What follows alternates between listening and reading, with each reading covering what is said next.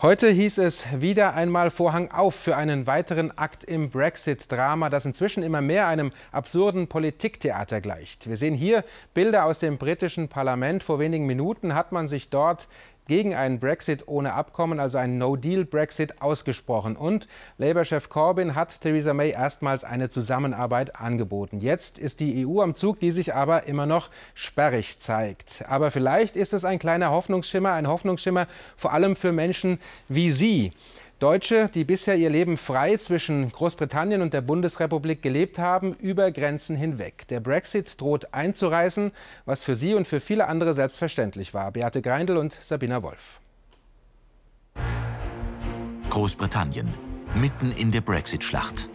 Es scheint, als hätten viele Politiker, die den Austritt aus der EU befürworten, die Menschen vergessen.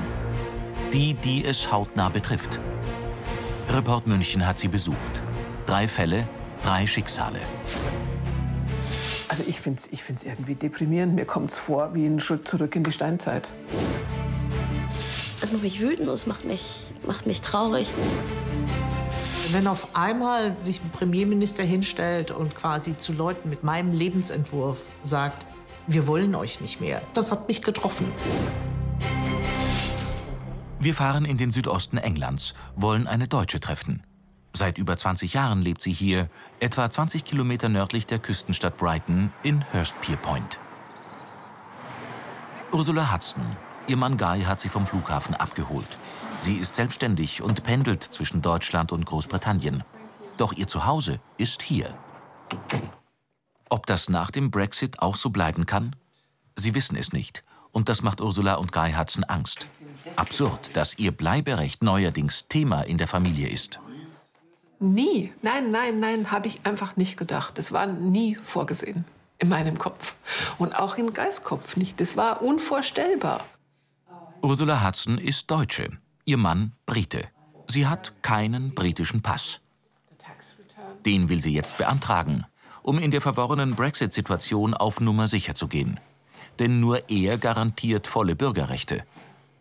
Die Vorschriften für den Erwerb der britischen Staatsbürgerschaft haben sich seit dem Brexit-Votum verändert.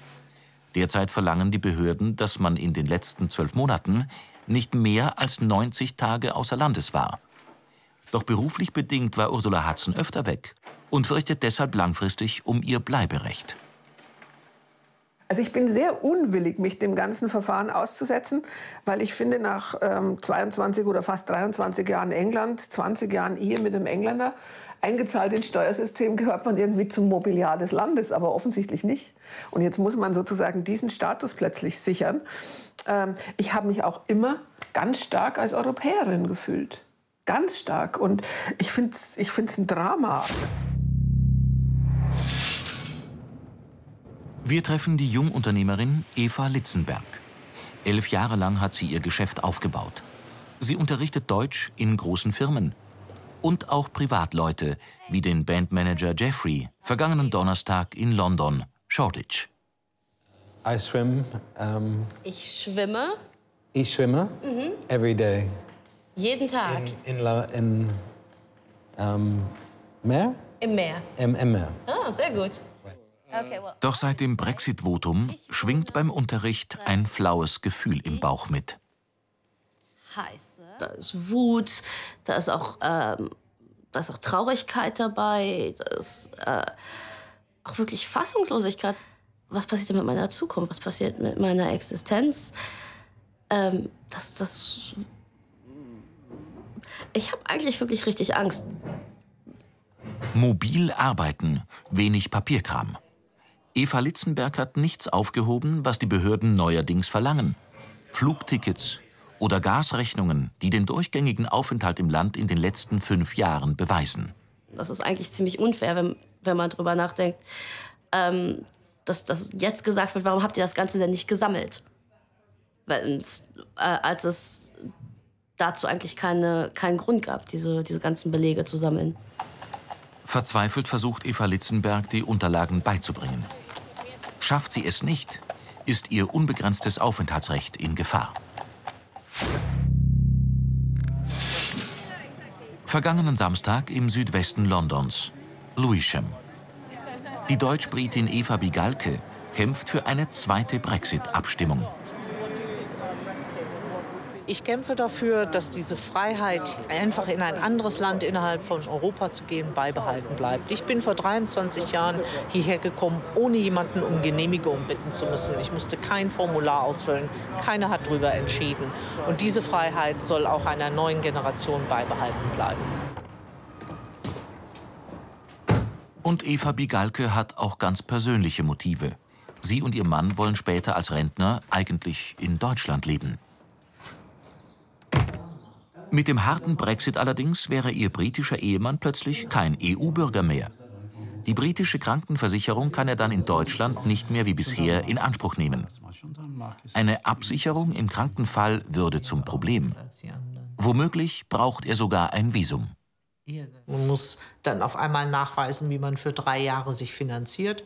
Man muss nachweisen, wie man für drei Jahre krankenversichert ist. Und das ist mit medizinischer Vorgeschichte und im Rentenalter eine Hürde, die dann schon nicht mehr so einfach zu nehmen ist. Zurück zu Familie Hudson. Sie hat jetzt auch die nächsten Wochen im Blick. Denn ein ungeordneter Brexit Ende März hätte auch für Reisende wie Ursula Hudson Folgen. Sie erwartet Behinderungen im Flugverkehr, Riesenstaus an den Häfen und Chaos bei der Grenzabfertigung.